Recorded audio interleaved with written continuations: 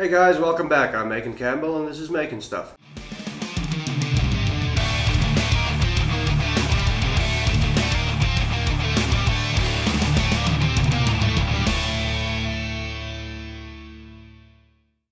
So this week I did something a little bit different to what I usually do. For those of you that follow me on Instagram, you would have seen that I made a guitar slide last week out of rosewood. The idea was that I was going to get my buddy Jacques to play a couple of tunes using the slide and then use that as the backing track for the video that I was going to make this week. But uh, I didn't get as much footage as I wanted throughout the project and I thought that it was going to be a very short, boring video. So I decided to take it one step further. So this week I decided to redo the guitar slide and along with that make a set of drumsticks for my other buddy Wayne, as well as two wooden picks. And following the same idea, I was going to get Jacques to play some tunes on the slide and get my buddy Wayne to play some drums on his suitcase drum kit. And then mix all that together into an audio track that I could use for the backing for this video, along with some video snippets of them playing. When I came up with this idea, I didn't realize how much work it was going to be. I got the video and audio and all sorts of different formats from my buddies, and uh, it was up to me to mix all this stuff together. All of this happened so fast, you know, I pretty much gave them no time to come up with something. So please bear in mind that the video and the performance by no means accurately represents the talent that these guys actually have. These are great musicians, uh, some of the best in our country. But this is probably the lowest budget recording ever. So with that said, you know, I gave my best shot. I think it came out quite nice. I hope you guys enjoy it. So let's jump into it.